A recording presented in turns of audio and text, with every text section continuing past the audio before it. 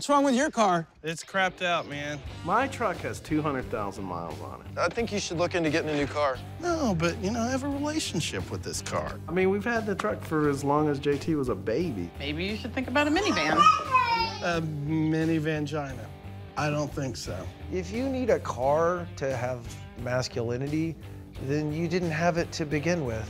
Your kids love my minivan. You might as well put your balls for sale on Craigslist if you're getting a minivan. The whole idea of just driving a minivan, duh, it just gives me shivers. I just can't. We gave up cool like a while ago. Speak for yourself, Speak for yourself, bro. These guys get their manliness from their cars. Meanwhile, I could ride on a Segway and rock it and still have giant thunderballs.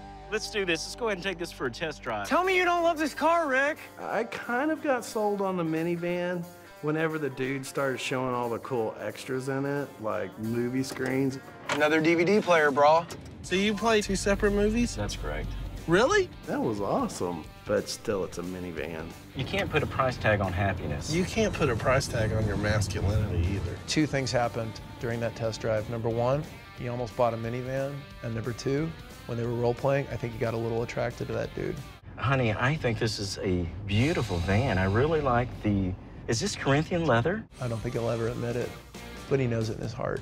No minivan. Instead, I got it fixed and I got it detailed.